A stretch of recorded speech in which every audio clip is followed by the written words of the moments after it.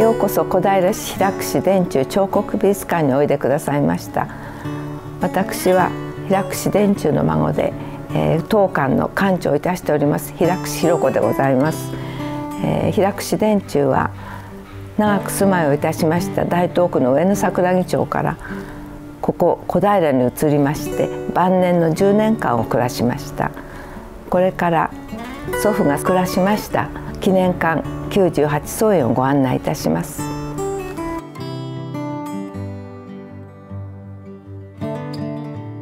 この家は国立能楽堂を手掛けた大江博の設計によるものです。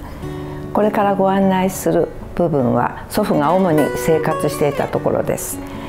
客間今寝室それから別に茶室書庫アトリエがございます。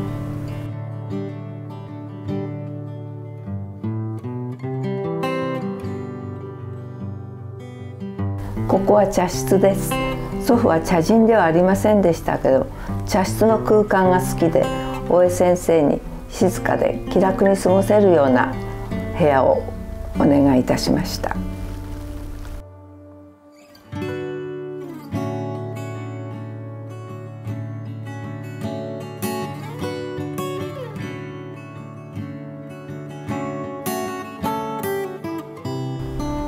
ここはかって書庫だったところです。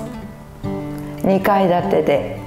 一面に本棚が作り付けでありました。1万冊に及ぶ書籍が収納されておりました。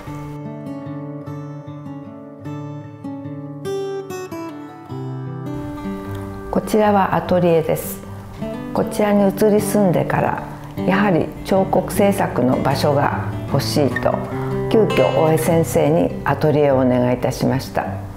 ここでは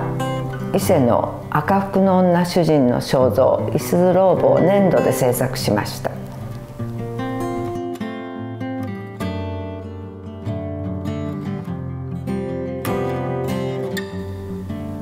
祖父のもとには大勢のお客様がお見えになりました。そんな方と過ごすのがこの客間です。イギリスのバーナード・リーチ夫妻浜田庄司さんそれから奥村斗牛さん荒川豊蔵先生など多くの方が訪れられました。そしてこの98層院を大江先生にお願いするにあたって祖父が望んだのはまずこの天井の高いことそれから廊下が広いことあと中庭が欲しい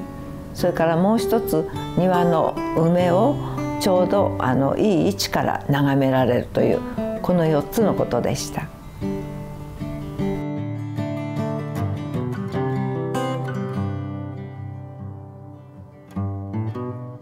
この部屋は祖父が一日の大半を過ごした居間です掘りごたつになっていてここに座って本を読んだり書を書いたりしておりました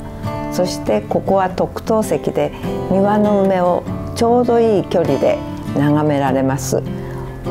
この今の位置を大江先生に特にそのように設計でお願いいたしました。こちらをご覧ください。この仏像は奈良の新薬師寺の公薬師如来を祖父が写して制作したものです。祖父は朝晩手を合わせて祈っておりました。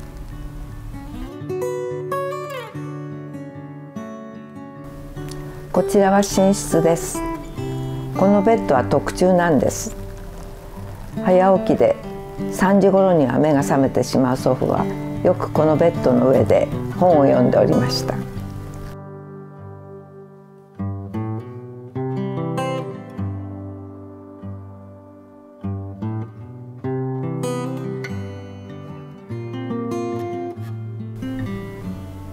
このようにこの建物は客間今寝室が廊下で囲まれており一回りすることができます。